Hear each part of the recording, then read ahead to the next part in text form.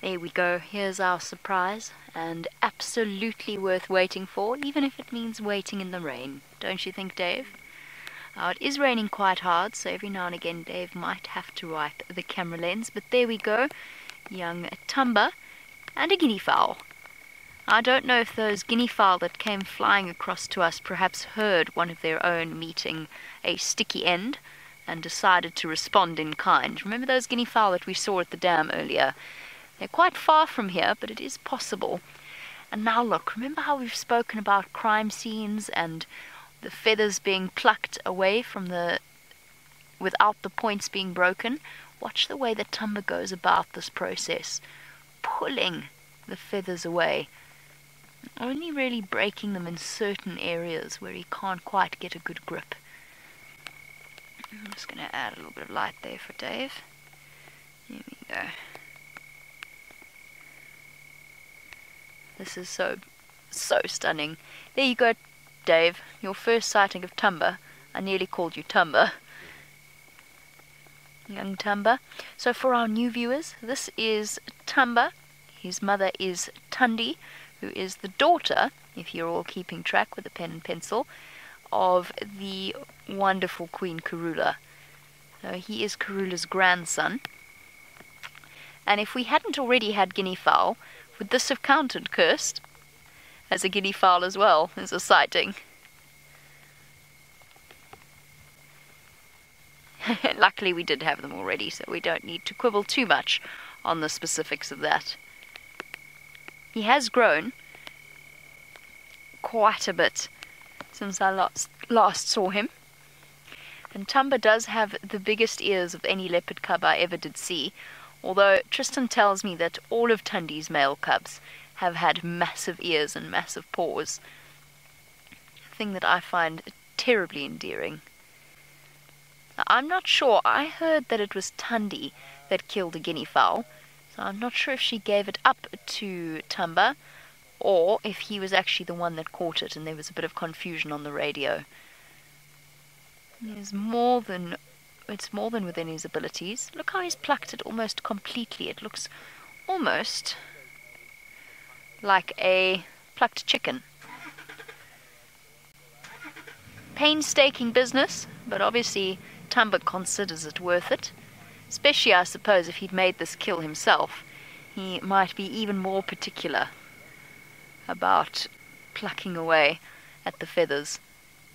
Even though his mum has a full adult waterbuck, not far away from where we are now.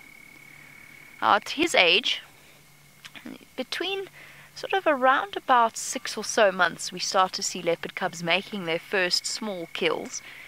And of course, every successful kill is a lesson learnt and a lesson in confidence. And every failure is also a lesson in its own way. Dave, I think we should go forward. I think we should scoot forward quickly. Apparently, all of you are asking about where the waterbuck is. I actually don't know. I've just spoken to Andrew. He thinks it's a little bit further to the east of where we are now. The reason I'm settling with this, not settling, that is completely the wrong way of phrasing it. The reason that we are enjoying Thamba and not Thandi and Thandi's waterbuck is because, there we go, that will help, is because it's now apparently I've heard a report that Thandi has almost completely disappeared into the long grass. Now, what that means is that I would have to go blundering about in the dark in the long grass to try and find wherever she is. And Thandi, in particular, obviously, we never ever want to invade the personal space of any of our leopards, but Thandi, just by nature, has a slightly larger personal space than the other leopards and she gets very, very upset if you do that. So I don't want to go blundering about in the dark in a way that causes her a disturbance. Now I'm just going to have to turn this light off because otherwise I'm going to blind the oncoming vehicle. So I'll keep it with a spotlight only.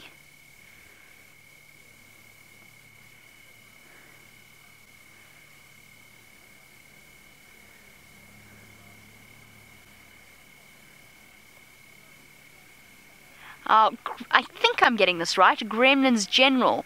You want to know if Thamba is the same cub that escaped from the baboons in that incredible sighting that we had. And the answer is yes, he is.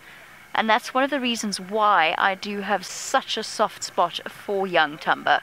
So, for new viewers who've missed that particular sighting, and I'm going to have to do some repositioning here, Dave, if you don't mind. Let me just.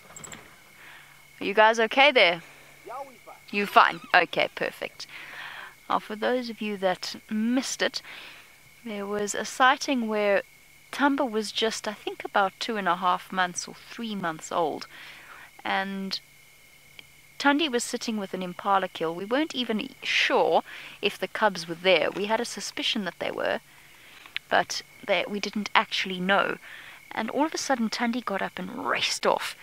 And it turned out that there was a troop of baboons. Now, a baboon will kill a, le- a leopard cub. Not just kill a leopard cub, they'll play with it before they kill it. Um, which is something that I have seen once before and read about on other occasions, and it's horrible.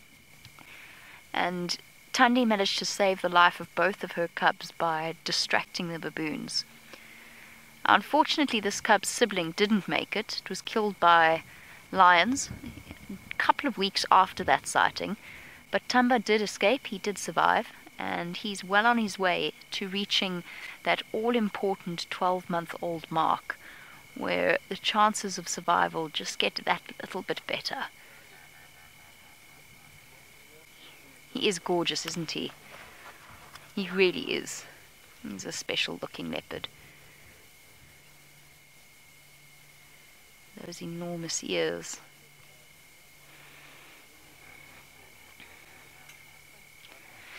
Now, Cora, you want to know why the leopard isn't scared of the spotlight.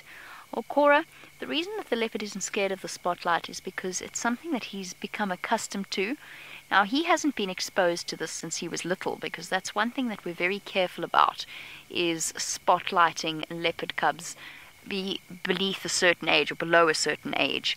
However, you'll actually find that leopards who are spotlighted, skittish leopards, are more comfortable at night with a spotlight on him or on them than they are during the day with just a vehicle driving around. Because they know that it's night time, they just feel that much more secure in themselves. So even the most skittish of leopards, and Thamba is not a skittish leopard, his mother gave birth to him underneath the lodge. Now, the reason that it doesn't affect him in any way is because of the reflective layers and the different types of cells in the, the back of his eyes, so in his retina, and that essentially bounces the light back, so it doesn't dazzle him in the same way it would you or I. However, just in terms of sheer respect, um, I try and make sure that my spotlight is down on the ground next to his face. There's my spotlight over there. I try and, personally, it's a personal preference, I try and keep my spotlight down out of the direct face of the animal. It doesn't seem to bother them, but it's just a preference that I have. I feel like it's only polite. Oh, you got itchy ear, boy. He's also got beautiful bottle green eyes. You might also be asking yourself, well, why are we spotlighting him with this kill? Typically, when a leopard has a kill on the ground, we don't spotlight them. However, guinea fowl is okay. A guinea fowl is unlikely to attract any major attention. But the waterbuck, on the other hand, which is another reason why, for now, all of the rest of the guides are avoiding it as well, because they don't have infrared like we do. The waterbuck is out of bounds unless you have infrared in the way that we do but I've already explained how difficult it will be to get into that sighting. Somebody's not particularly hungry. Someone's obviously been eating waterbuck all day, because you've got a very full belly and you're not exactly tucking into that guinea fowl with any great enthusiasm. There's been a lot of procrastinating happening, little man.